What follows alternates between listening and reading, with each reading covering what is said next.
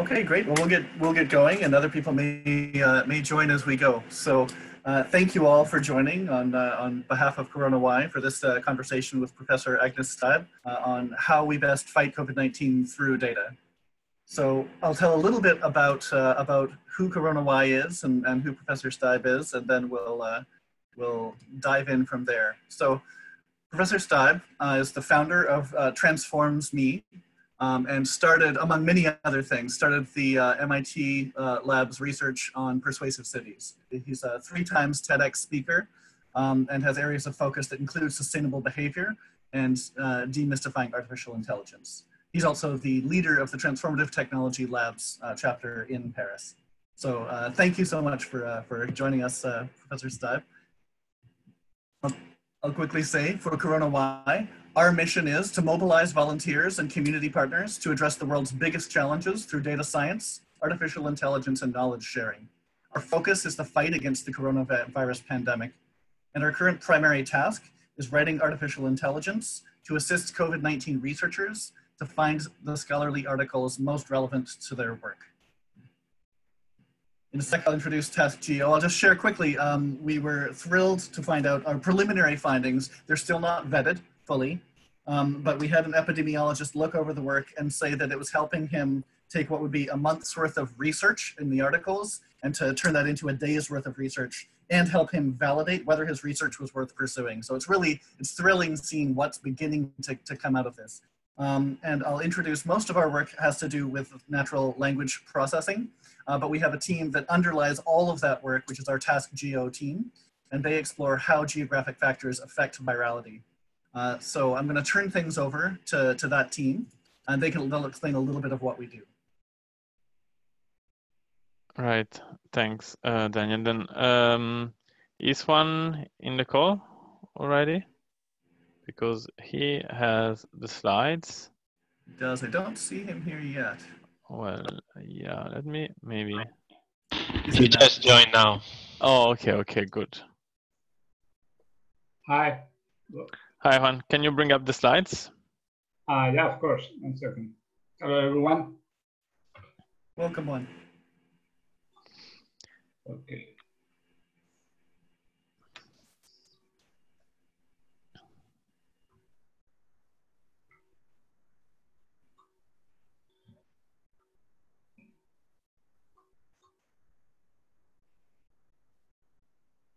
Okay, sorry, screen.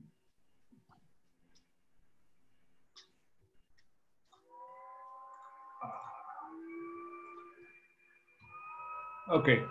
You see the screen? Right. Yeah. Yes. Yes. Good. Right. So, um, as Daniel mentioned, so one of the main focuses of CoronaWhy is NLP at the moment. Um, we are approaching um, the problem in a slightly different way. So the idea is there's a lot of risk factors that are, that are geog geography related it could be uh, population density can be an impact on how fast the virus spreads, or it could be some um, demographic data or some meteorological data that has an impact on mortality, on uh, on spread of the virus, and so on. And um, well, the goal of uh, of our team is to provide tools that can help us understand uh, how those geographic factors uh, impact the spread and mortality of the virus. So one thing on which I, I want to be um, quite clear from the start, right now, uh, we do not aim at uh, drawing any conclusions. We want to provide uh, the tools to help experts to do this work. Uh, this because we are not experts in epidemiology.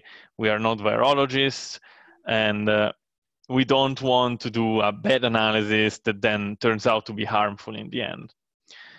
Uh, so one of our big goals um, currently is to source and bring into a centralized database um, this kind of data to put it at the disposal of uh, the public and of researchers and so on. So we want to do this in a standardized format, in a ready to use, a ready to use form. Um, because right now there's a lot of available data around on the internet or wherever, uh, but uh, usually it requires some work to find it, some work to understand where it comes from, if it's reliable, and uh, also if we want to use more than one data source, then it can be uh, quite a bit of work to just bring them into a form that uh, um, allows us to just, you know, even just merge two tables. So this is um, one of our main focuses right now. And uh, mm, now I think um, Juan can share a bit uh, of uh, about uh, what we're doing with this data, in particular um, from the point of view of data visualization in our teams. Okay, great. Thank you, Daniel.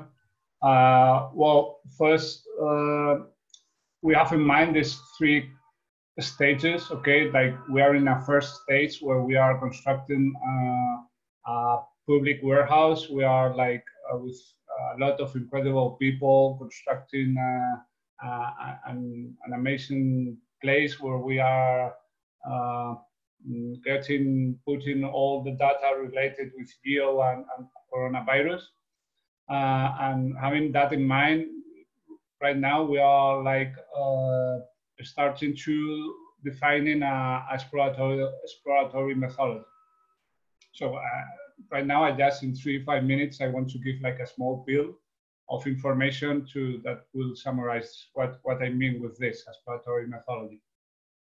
Okay. Uh, first of all, I think it's important to, to have in mind what we understand with methodology. Uh, when we talk about methodology, what comes to our minds is to have a method. Uh, which means in a way like controlling or, or, having a set of tools and strategies that permit uh, achieving a precise goal. Uh, using like uh, a logical or an, an order procedure that may synthesize and, and, and, and understand a challenging complex, complexity uh, that at first sight uh, may seem out of grasp. Uh, so having in mind these two funny pictures, right? Uh, the purpose of, of, of, of, what we want to achieve with your data is to give order and sense to, to this data. So uh, we can we are working in, in, in, like giving three areas to this methodology. The first one would be data scale, granular aggregated data. What uh, we mean with this is like going from general to particular. Uh, like getting the big picture, understanding the parts, uh, how the global results are constructed from, from granular data. Then we'll be filtering and weighting data. Uh, the aim is, um, as the name itself um, indicates, is to filter and weight data so we can detect which, which is the most valuable uh, data in order to, to understand how the virus spreads. Uh, we need to understand the pieces, or, how they work with each other, with each other, and what is the value and measure they have.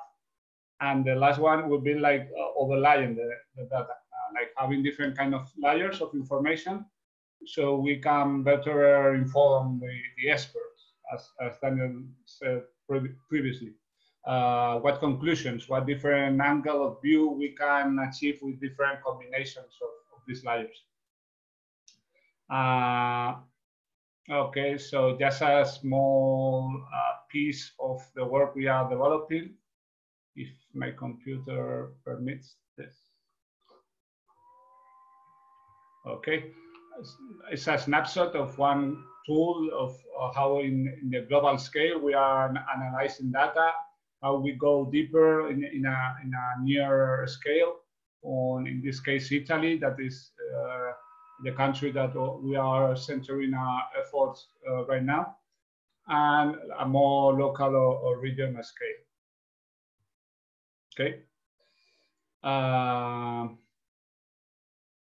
yeah, here more or less like uh, the brainstorming of how we think, how what tools, what what widgets, what graphs, what kind of visual uh, resources we have in, in, in uh, we have to uh, create the, the best um, yeah, tools for, for the experts. Um, and just for finishing, uh, I'm, bearing in mind uh, this uh, and, and, the fantastic opportunity that is having this call, uh, stage three. Uh, what what we want in this stage is, is is to share and receive feedback from the experts for the two previous stages. Uh, so we can help uh, to, uh, to combat and deal, and deal with, with this uh, global situation we are living. Okay, so more or less, yeah, that's it. Yeah, thanks, Juan. Thanks so much. Okay, let's see if I can stop sharing the screen now. And I'll mention that also right now, all of our main task teams um, are in the final day's push of a more than two week crunch to get an initial set of tools and sort of presentation submission uh, out. Um, so uh, we're, we're uh, pleased that you all can take the time away from that work that you've been, been, been pushing on so hard to do that. Um, I'm just going to quickly share the um, next question that we have. So, so I had the, the good fortune to meet Professor Stibe and to hear a workshop of his at last year's Transformation Te Transformational Technology Labs conference. Um, and because of your expertise uh, around smart cities and, and, how you can take the data that exists and move that over um, and turn that into actual behavior uh, change, uh, we wanted to ask some, some key questions to you. So the first question that I wanted to ask was, what data sources would you suggest can best help us understand the COVID-19 situation from a civic and a municipal angle uh, and how. And feel free to give also, I, I forgot there to, to give you a chance to give a little bit more introduction to yourself and your work as well. That was important piece that we completely forgot. My apologies.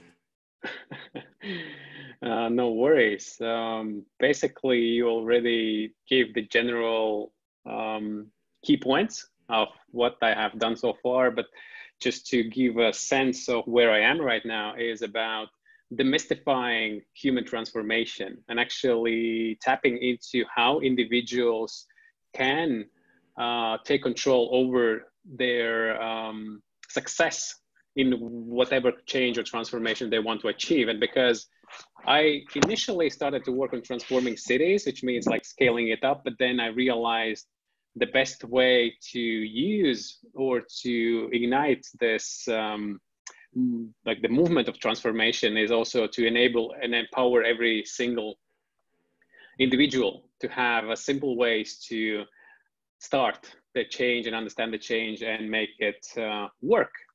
So maybe one question before i start answering the questions is uh, i learned that you predominantly use the nlp it's not the neural linguistic programming, but it's natural language processing. Is and then you pro provided these insights into how you geo-localize the data using the example of Italy. And I'm just curious whether you really use that language processing on the freely available textual data that is uh, available online. Is that the case? Most likely you might use also some other techniques of what particularly you've been using to, to create those um, um, graphical images that you presented. Could somebody just give me a little bit more insight before I start? Yeah, of course. Maybe, oh, yeah. Please go ahead. Doctor. Maybe I'll give a, a quick, like, non-technical explanation in terms of what is actually happening. There is a big chunk of work that is uh, happening with us working with the CORD19 uh, data set, which is the 47,000 of scientific papers that we're trying to extract um, relevant information for research community. That's kind of the NLP part of it. The other piece that is being baked uh, by the GEO team is basically an attempt to create this unique infrastructure to support all kinds of insights from various sources, from US Census data, from other UN uh, data sources and other pieces. So you can see that as, a, as two kind of separate tracks that are converging as we are approaching this, you know, Kaggle submission or like something to showcase to research community. Does that answer your question? Yes, and I have like just a little bit additional question to, to, to make it more precise. Have you done anything with uh, like textual data on the social media?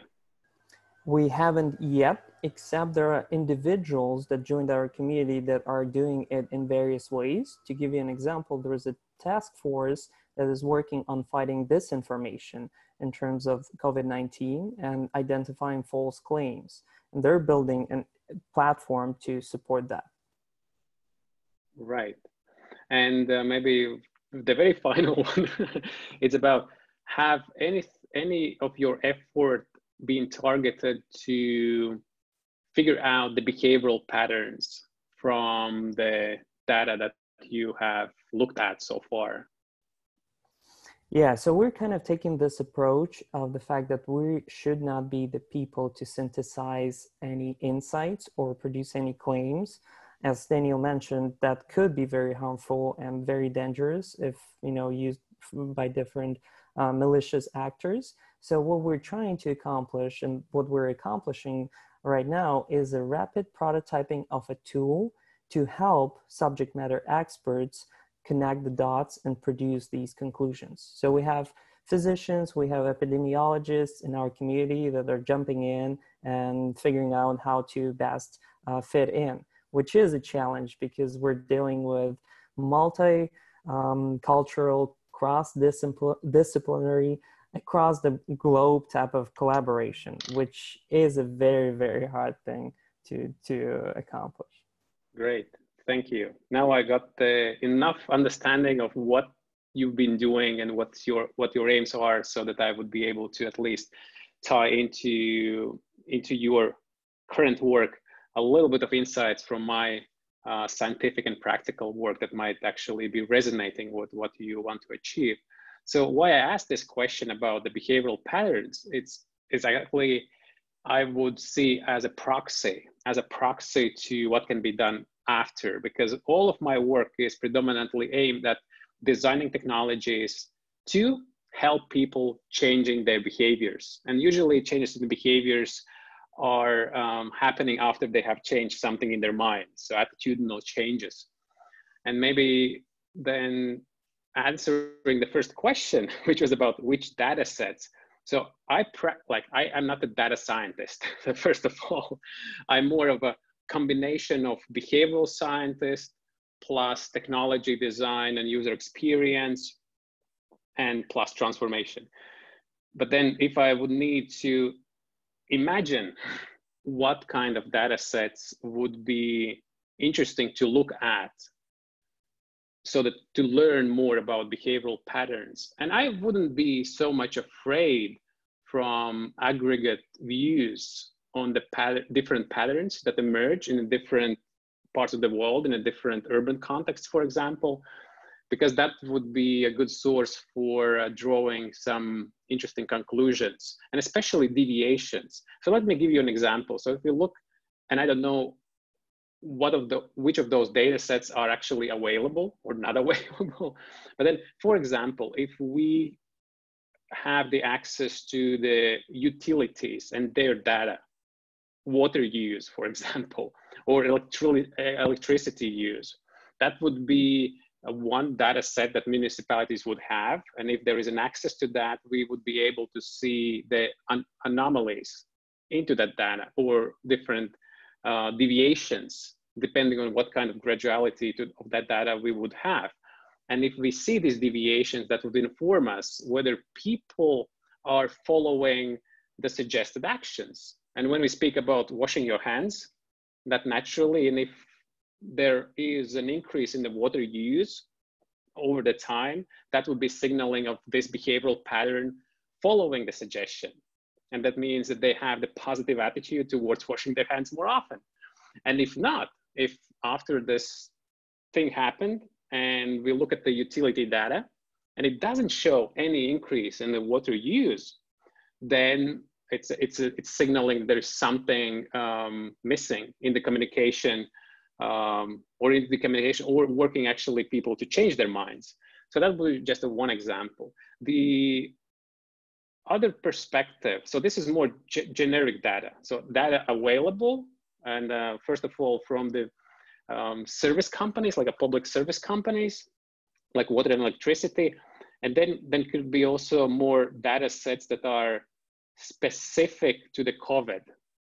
And I think when we start to speak about what kind of data would be more specifically helping with addressing the COVID-19 issues is about those behaviors or data sets that would be projecting those behaviors that directly is helping the virus to spread.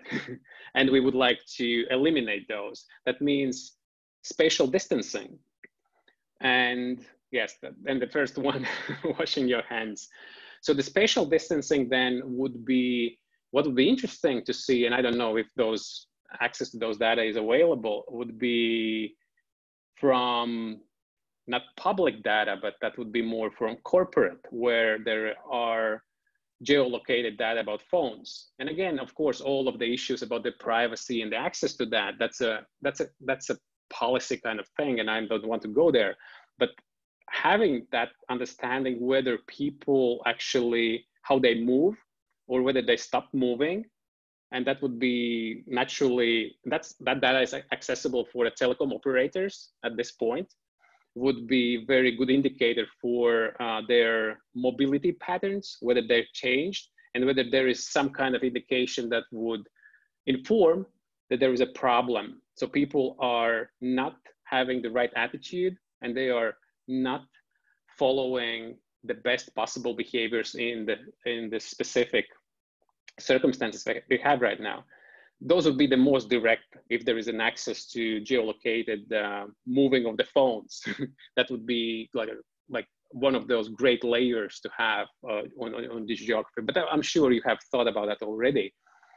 And then maybe some proxies. So what data sets could be serving as a proxies to explaining some of the behavioral dynamic and patterns in in the societies?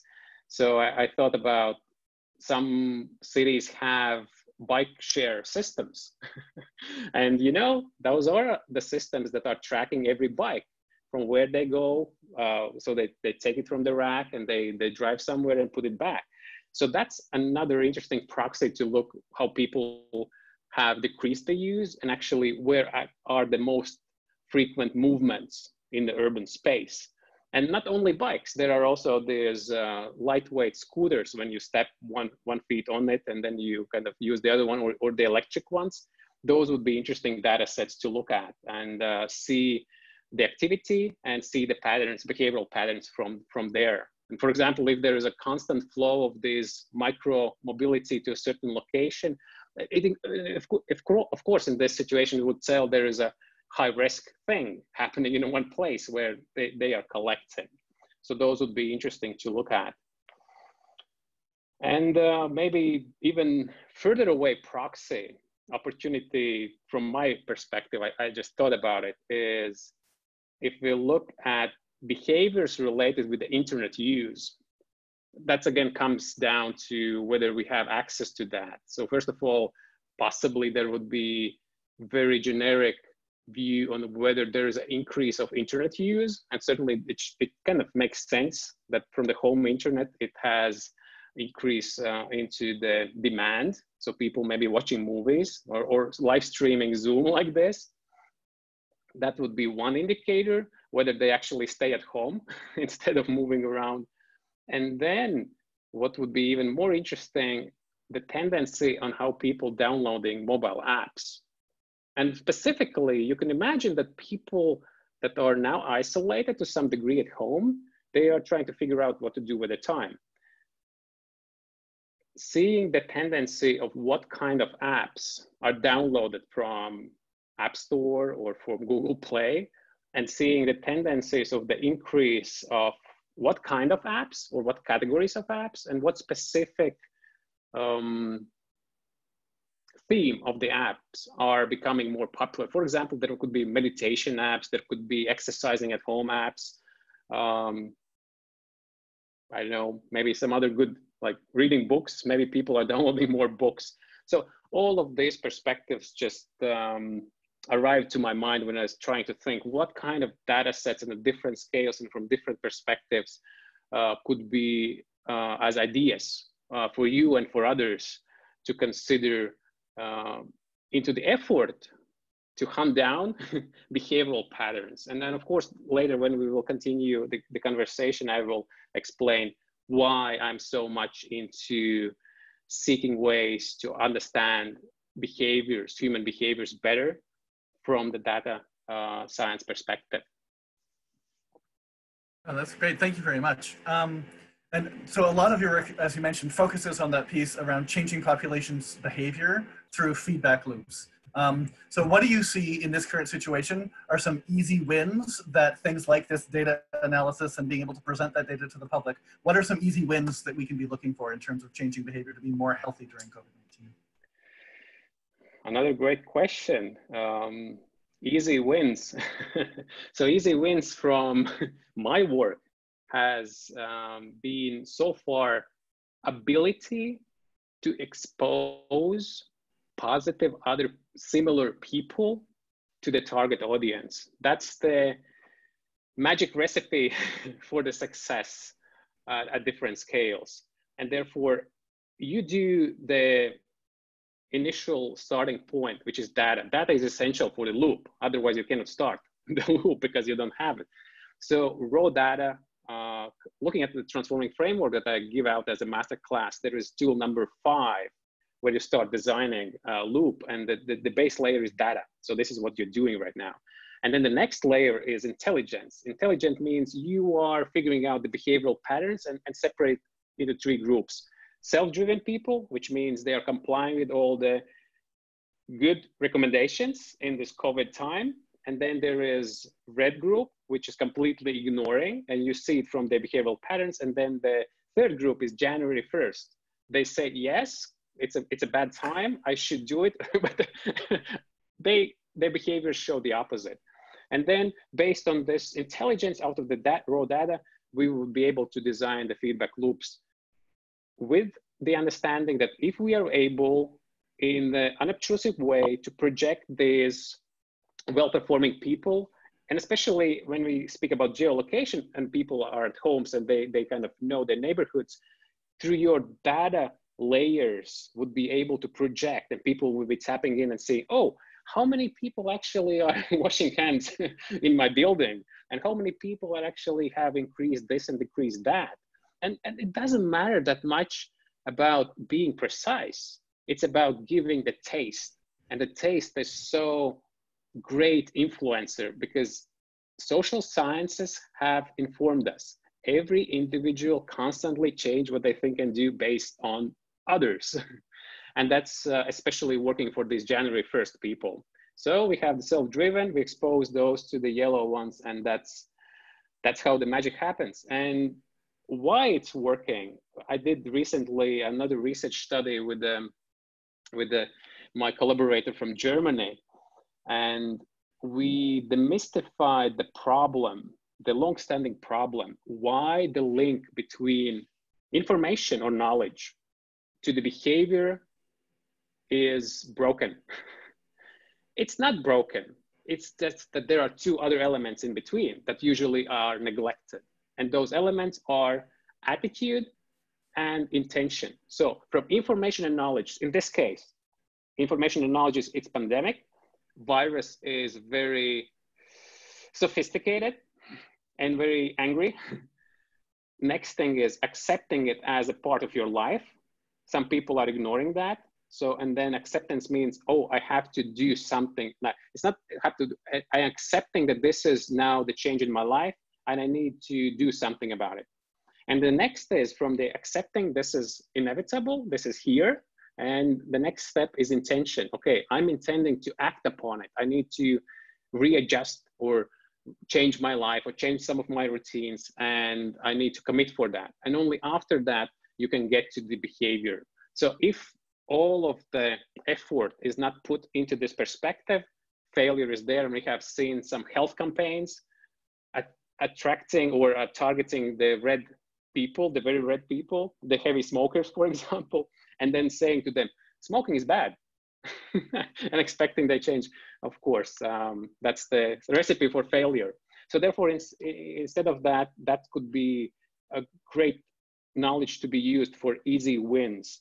And maybe if there is a chance to have enough data geolocated with a positive behavioral examples aggregated, enabling that as a platform for people to really be curious and like, oh, I'm here. Okay, what people do about mobility? Oh, that decreased like this. So people actually not moving anywhere. Hmm. Oh, the water uh, consumption increased. Oh, that, that means they must washing their hands more often. Okay. And you can even like give the easy way to break it down to a, a use per person and an increase what how many times they are washing their hands more often and, and again it shouldn't be precise but it would say okay now in your neighborhood the washing frequency is 3.2 points 3.2 uh, times more than previously. In the other neighborhood is just 2.8 and you feel good about it. Your neighborhood is better than the other one. And um, that could be one of the quickest data driven. And then as a scientist i would say if if there is no kind of ready way to do that, uh, another alternative always is to run self-reported uh, surveys. That's always uh, easy win.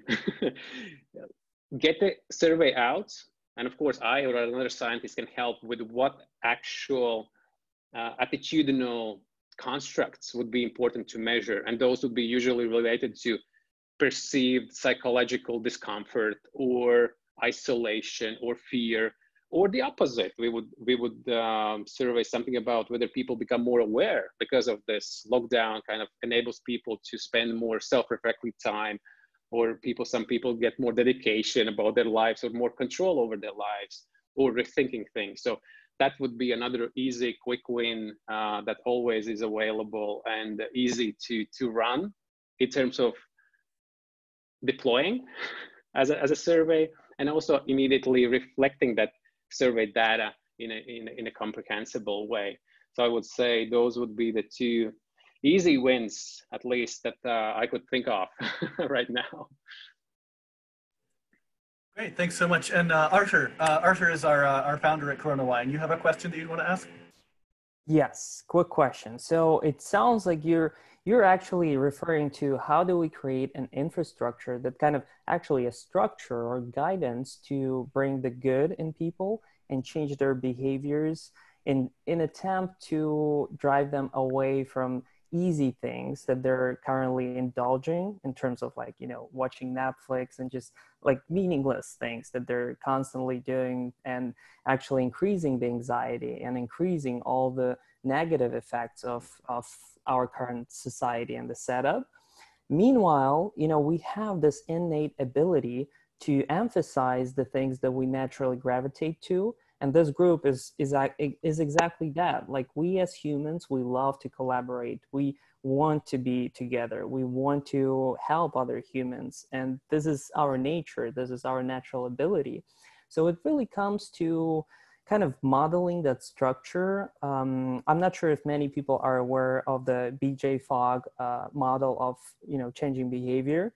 Uh, that's that's awesome that some people do, but basically I'm going to share my screen here and ask you, like, how do we apply this model, which is basically finding a balance between things that are you know easy to do um, hard to do and having enough motivation to do these things? Because that's really from my perspective is the key.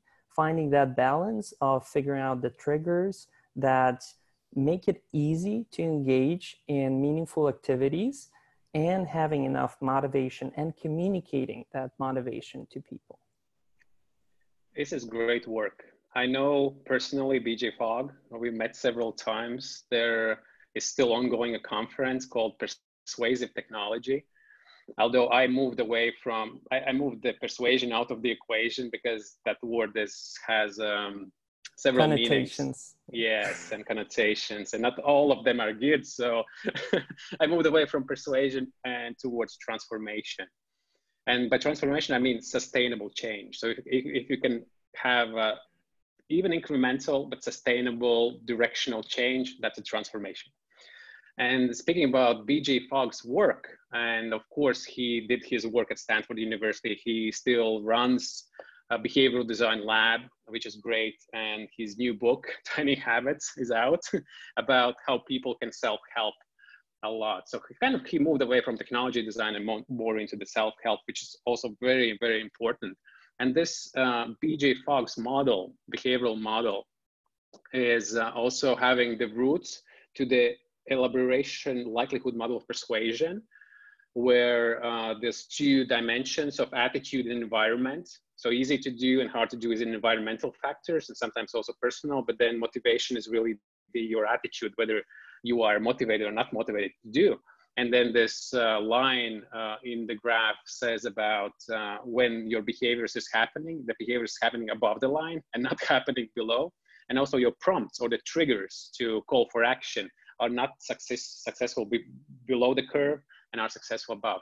So I, I spoke about, maybe I mentioned about my uh, work or at least the work how I frame the science for practice. It's a framework having eight tools so you actually show the insights in the tool number two. so I'm using it and I'm practically giving it out to, to people. But now coming down to your question, how to, what to do if people are inclined to have fun, hedonic type of personalities, while the utilitarian kind of point of view would be more beneficial for themselves. My answer is quite simple and at, at the same time very effective, just like our human nature. Curiosity.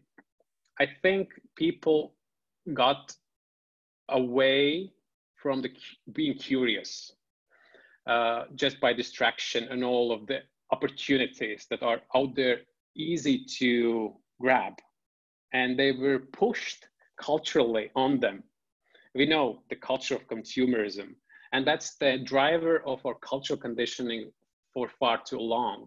And while this is so easy to get the joy, or as I refer to it, artificial happiness to some degree, uh, the curiosity has been diminished. And also sometimes even from what, how the kids are raised, the curiosity is kind of damaged right there. Not always, but uh, there are some, sometimes that happens. So I would say, what would be really the benefit of your work right now and referring to these multi-layered geographical opportunities for people to tap into that would be huge huge improvement for the curiosity and the driver for this kind of curiosity would be people are interested how other people do. That's why they watch netflix. They look how the other people do in their story. And then they reality shows for that. So your work put into the nice, interactive, easy to comprehend way is the same thing. but it would be much more beneficial at this particular time, at the time of the COVID being the essence or influencer of the lives. So therefore, I say recipe is getting people curious and through this curiosity again we can plug in into your for example your um, data visualization and this feedback loop some interesting influential design elements that would amplify that curiosity and you know like a gamification kind of thing the gamification is fundamentally based in the social psychology the same social influence is just a fancy name that people use to make it more again attractive and curious uh, people for that so there could be complementary elements that would make this curiosity not only stay within that person, but also spread out to the other people. And while they will be getting this experience, I believe we could plug in some insights that would, from the curiosity, lead them to the awareness and the awareness about where is the source and the power of change and that's exactly, I think, what people are missing at this point. So they think the power is somewhere out there, like they have been conditioned and used. Oh, you need to get fit oh, that means it implies you have to put some punishments on yourself and then you have, to get some rewards. So if you get your body weight down to this level, then you go to Hawaii, then you, you are allowed. And, and, and by the way, this is uh, one of the biggest delusions that all of this intrinsic stuff is sustainable it's it's it's opposite. Sustainability comes from within.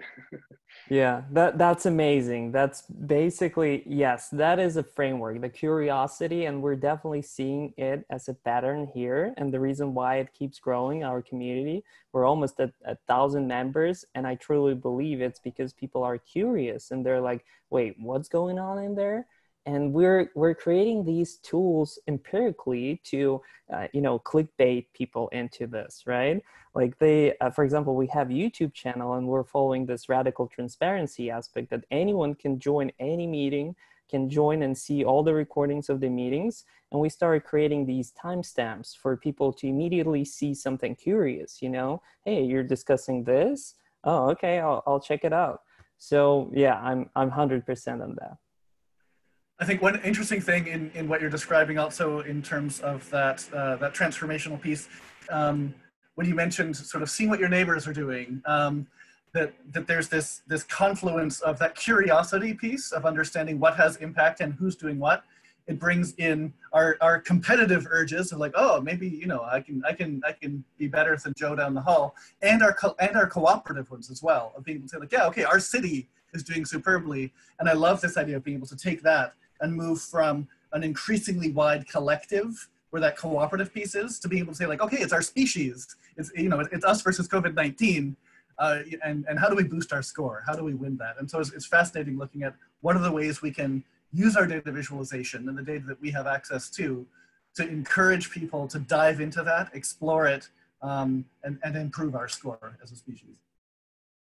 Wonderful. And uh, you, you just mentioned a few of the main social influence principles like competition and learning, social learning, social competition. And there are five other ones that I worked fundamentally for the last 10 years. Cooperation as well is there, recognition is there, social comparison, social norms, of course, and social facilitation. So those are the fundamental seven that I've spe specifically studied and that they can be plugged in. And I think uh, it's time to ask uh, a question that I would like to ask, or what what's the question that you guys should be asking me? Is uh, and I have written it down. so, how to help people efficiently achieving their desired transformations? I think that's the major question because whatever outside circumstances come, and this is one of the circumstances that came, is how people can be ready with their power of change for whatever will be the next uh, outside um, circumstance. And again, what basically what a transformation in this sense means, and especially for the COVID-19 is from being careless about it to be becoming careful. from fearful about this, become cautious. And those are these attitudinal shifts and transformations that would be beneficial at the individual level and for the societies and for the global scale. So answering this question, again, my experience and my scientific observations and my work has gotten me to the revelation, which actually came out very recently. And I have written a blog post this morning uh, on my website, and it's called activating transformation gene. I believe every human being in their DNA, and I'm speaking about not molecularly, but conceptually, has experienced and there is accumulated knowledge about the changes and transformations that has happened over the thousands of years. And that knowledge is right there inside of us. We know what the change means, we know what the transformation means, and we have the power and energy to execute that anytime we want and anytime we are aware of we have that. And this is kind of reflects back to the second question. While people have been using the outside things and they always look for the outside help that's why medicine and pills is so easy because oh that's the magic pill. I'm now i, I don't need to do anything because the inside of us this transformation gene knows how you can pretty much do everything. It's just similarly as the all of the body does this does the does its own work. So therefore the best thing that you can do for people is to help them to navigate everyone to that place inside and uncover, unveil this transformation gene and activate it. After that, there is a new person with a new identity and with new understanding and the power of change that comes right from where it actually is possible. There is no other more sustainable way for a change that only from within because that's a that's that works through the, through our identity and of course we can use best ways to leverage the interactions with the outside world with the other people or with the other experiences and uh, to collect which of those experiences are helping to transform and which are not. So therefore first of all sentence number one everything is already you you have you you have already everything. That's first awareness. And the more you create that understanding the more you express the power of transformation the next you are make putting the awareness on your interactions with the world. And then you become more aware which of those interactions are in line with your envisioned transformations and changes and which are actually uh, dragging you back to the comfort and not doing anything. And then you refine those and then your awareness is growing into, into the two areas yourself and the reaction with the world. And the good thing is while people have this opportunity to do it themselves naturally through the physical interactions we are mirroring and what's good good about the mirroring is we have that as well which means you become some some some expressing some other like a new kind of behaviors to your friend and the friend says hmm well, uh, even subconsciously, the friend would say, like, think even, hmm, this is a new experience to me. And because that other friend have that revelation, it's not through, through the conscious, cognitive, intensive analyzing. No, it's because the DNA in the other person just spoke up saying, well, you have it too. and that's the way how it spreads through the physical interactions. I mean, social interactions, even spatial. and then, of course, technology can be used to, to amplify that. So that would be the question that should be asked more often by everyone to everyone. Makes sense. And I actually have a quick question on that.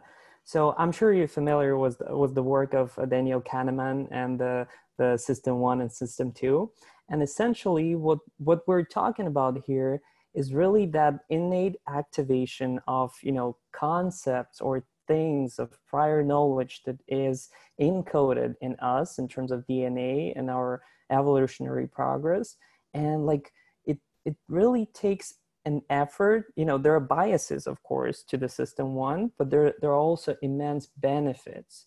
And just like you know you don't have to overthink it. You don't have to create some complex social structures to activate human potential. You just have to be human yes coming back to what you have. Uh, like and, and kind of be aware of what distracts you from being being the being. And actually like people say okay you have become doing instead of be like human doing instead of human being. And you very rightly said about daniel kahneman. Uh, that's one of the ways how i also intertwine and explain the external motivators predominantly are designed for system two which is intellectual rational so you usually would reflect oh what's the reward oh is it big enough or small enough will it would I like to change my life because of this trip to Hawaii? Oh yes, like, that's a good like one.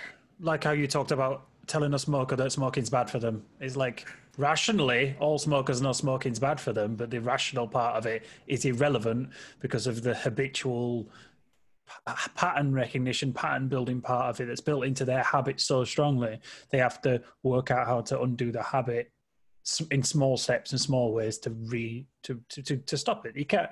There's no there's no intellectualizing bad things because it's not. It's like yeah, you can't explain people.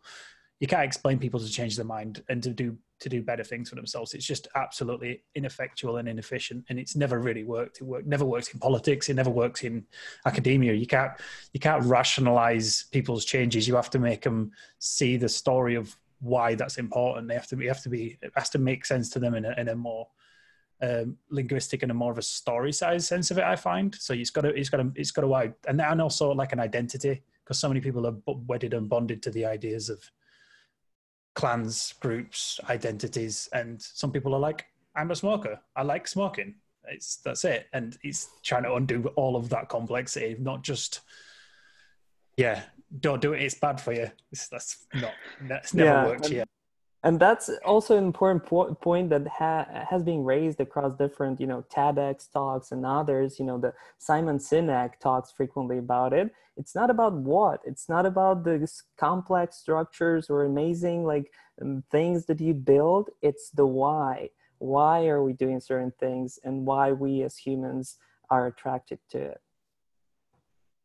Exactly, and uh, reflecting just to what was said previously about this is more like uh, your own story. So sometimes I explain this this kind of like DNA concept speaks better to the people that are more exactly think like thinking. Okay, these are the genes. You can um, have more gene expression here and less there through the epigenetics. So those who are familiar with that, but then when it comes to the simple language, I, I, I say that every person's identity is a book and then you just flip the pages and you get to the page which says your relationship with smoking.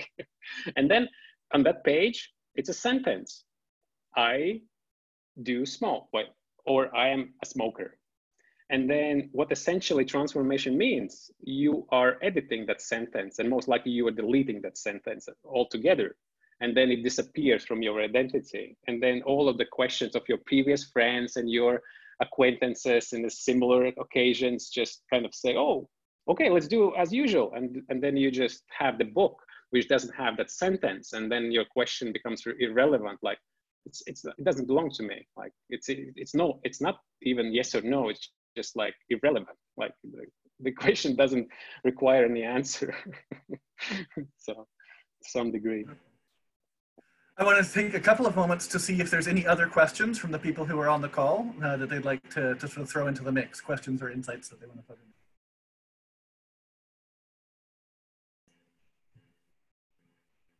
Well, maybe very this, quickly. Is... oh. oh, yeah, go ahead, Daniel. Thank you. Uh, just uh, to answer some of uh, an implicit uh, question by Professor Stibe before, um, we actually do have mobility data. It's uh, openly provided by Google, uh, not the raw data, but uh, there are mobility reports on various countries. You can find it easily on the internet if you're interested. It gives uh, quite interesting insights. That, that's great. Um, the beauty or the best possible alternative to this one, which is already better than nothing, is the instant instant data. Of course, that's uh, something on the one hand we have, but then we might not have access to it in most of the cases.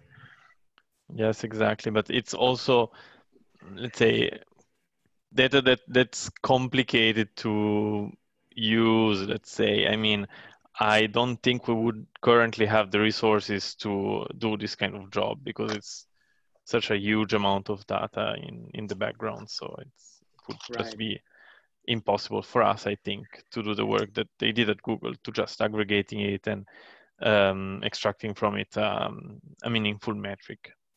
Mm-hmm.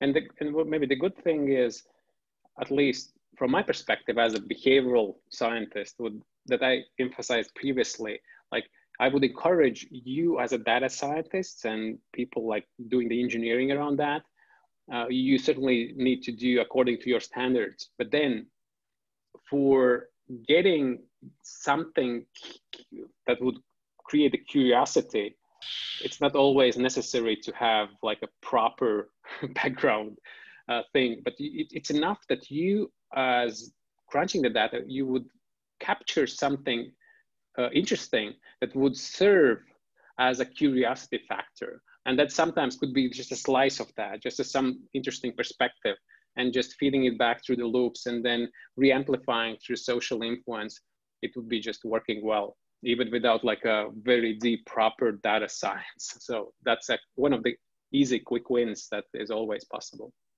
that's wonderful. We're, before we wrap up, uh, we have a final uh, question. Anton, did you want to step in? Oh yeah, um, thanks for this um, this insight, Professor Stibe. Actually, it's it's very useful, and, and you know I think that uh, the biggest part of this group is actually very interested in transforming behavior and habits, and overall the bigger uh, population of Earth, I would say, because we all see that um, whenever we are heading, it's it's a it's it seems to be a dead end, like this consumerism and things and stuff like that. And uh, but definitely we have to start from ourselves, right? We, we need to demonstrate success on ourselves. And uh, I was just wondering what to read next. I mean, uh, I was very much impressed with with the materials. I'm reading a lot of things on this topic, but what what's next? Uh, what what would you recommend to start with in terms of uh, own personal behavioral change and transformation. And you're asking for um, readable items like books readable listenable whatever you know i've, I've seen a couple of uh, ted talks and uh, youtube videos with you uh, maybe there are some readable or i don't know. That's the most frequent question in my talks. Where is your book? And an honest answer is if i look back what was what was what was my work a year ago it wasn't anything like this.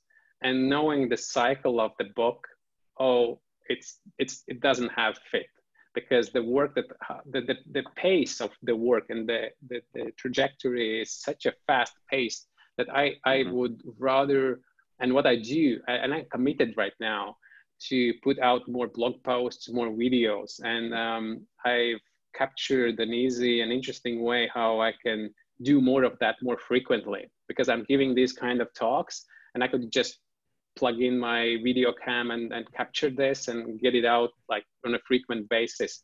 And people, I think nowadays enjoy this luxury of audio visual mm-hmm. and that also communicates all of this DNA thing.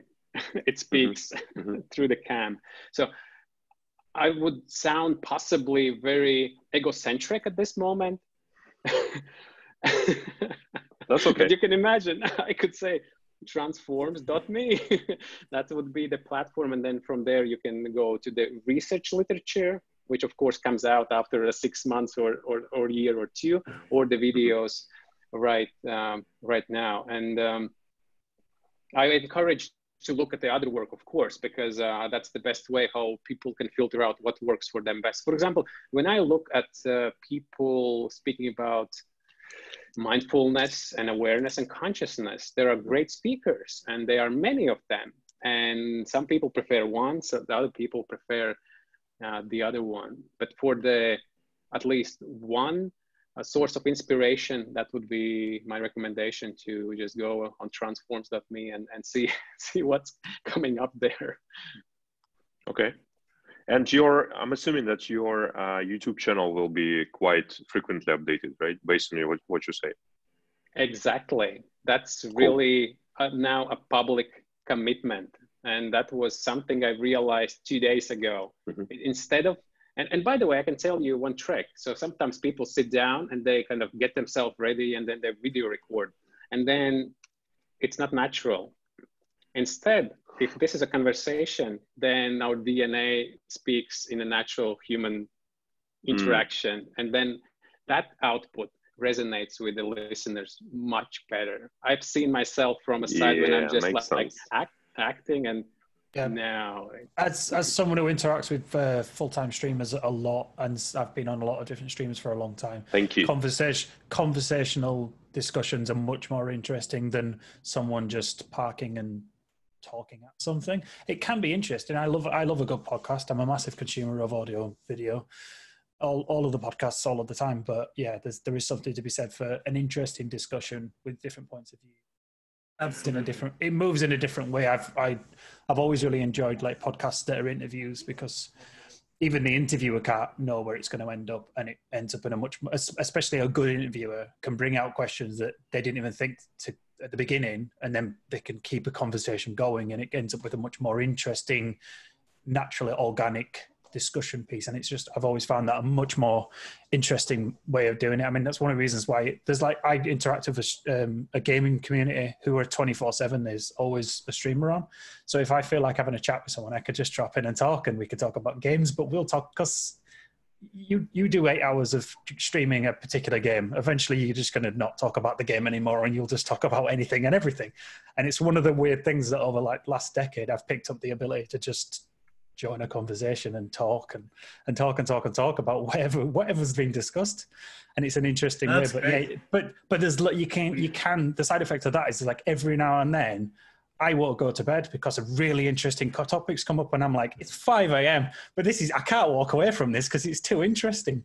Even if it's just like three other people talking, I'm like, I'm just, I'm just, just stuck in. I can't not, I can't walk away from it the same as it's happening right now. We actually have exactly. a daily call today at 10 uh, my time, and we're already four minutes into it. So we're already late. yeah. but this is exciting. So I would yeah. just say, yeah, Daniel, you want to wrap it up? Yeah, thank you. I, I, just wanted to say thank you so much for taking the time. It's a it's a really real delight to, to hear your thoughts. I look forward to further further interactions and getting your ideas around around how we can can do all of this. And uh, yeah, so anyone who's wanting, who's watching this afterwards and wants to find out a little bit more uh, about uh, Professor Stibe's work, transforms.me is the place to go. Anyone who's interested in what we're up to here at CoronaWhy, come by coronawhy.org. That's coronawhy.org. Um, and you can find out what we're up to, or even better, you can come and join us and, uh, and, and help with things. So thanks again. I, ex- I expect visits from the professor, even if it's just out of curiosity to see what we're doing on some calls. Perfect. Exactly. All right. Thanks, everyone. Cheers, guys. Bye, everyone. Thanks. Good luck with everything.